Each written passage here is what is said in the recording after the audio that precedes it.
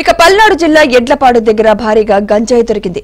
ఇద్దరు యువకులు శ్రీకాకుళం నుంచి తెలంగాణకు బైకులపై గంజాయి తరలిస్తోన్న సమయంలో ఎడ్లపాడు దగ్గర అదుపు తప్పి పడిపోయారు.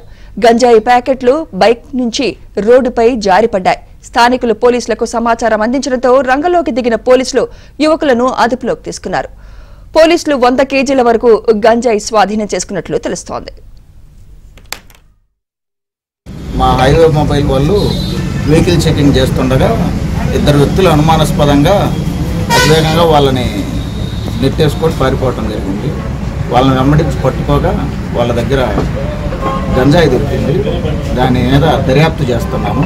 పూర్తి వివరాలు త్వరలో వెల్లడిస్తాం. ఎన్ని కేజీలు ఉండొచ్చండి సుమారు. చెప్తాం. సుమారు వెయిట్ చేసి ఏ ఊరు నుంచి ఎక్కడికి వెళ్తారు? సీలేరు నుంచి తెస్తున్నారని మా ప్రాథమిక దర్యాప్తులో తెలిసింది. గంజాయి ప్యాకెట్లు బైక్ నుంచి రోడ్డుపై జారిపడ్డాయి. స్థానికులు పోలీసులకు సమాచారం అందించడంతో రంగంలోకి దిగిన పోలీసులు యువకులను అదుపులోకి తీసుకున్నారు. పోలీసులు వంద కేజీల వరకు గంజాయి స్వాధీనం చేసుకున్నట్లు తెలుస్తోంది.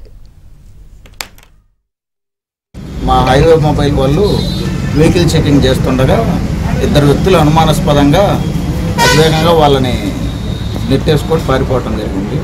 వాళ్ళని వెంబడించి పట్టుకోగా వాళ్ళ దగ్గర గంజాయి దొరికింది. దాని మీద దర్యాప్తు చేస్తున్నాము. పూర్తి వివరాలు త్వరలో వెల్లడిస్తాం. ఎన్ని కేజీలు ఉండొచ్చండి? సుమారు. చెప్తాం. సుమారు వెయిట్ చేసి అది దర్యాప్తు ఏ ఊరు నుంచి ఎక్కడికి వెళ్తారు? వీళ్ళు సీలేరు నుంచి తెస్తున్నారని మా ప్రాథమిక దర్యాప్తులో తెలిసింది.